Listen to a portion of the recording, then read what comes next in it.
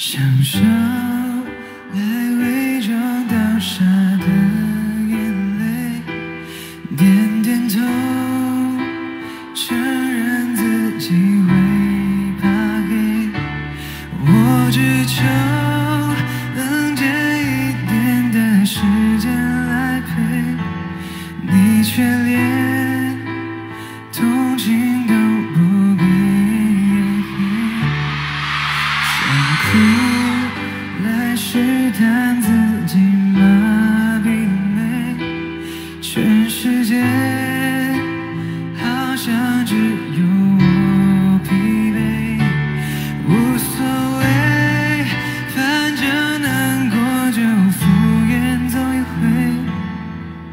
但愿。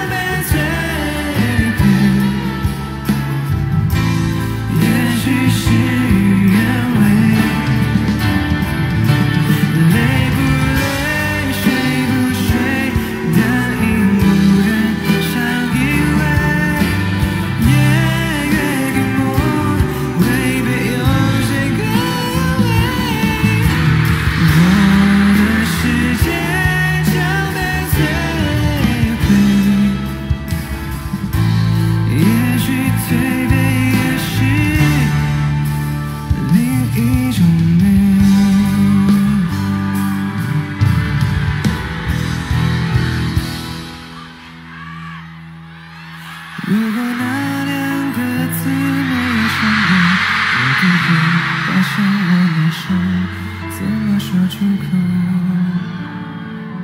也不过是分手。如果对于明天没有要求牵牵手就像旅游成千上万个门口总有一个人要先走。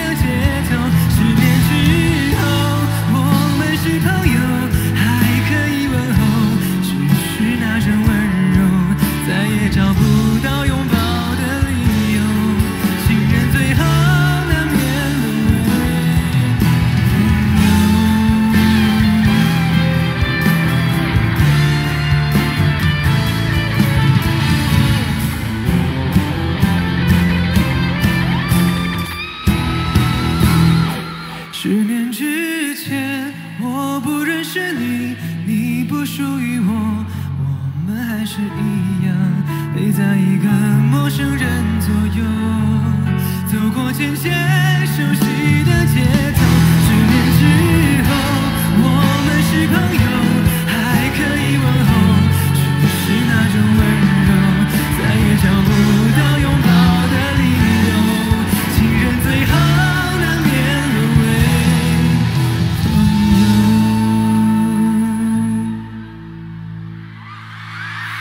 直到和你做了多年朋友才明白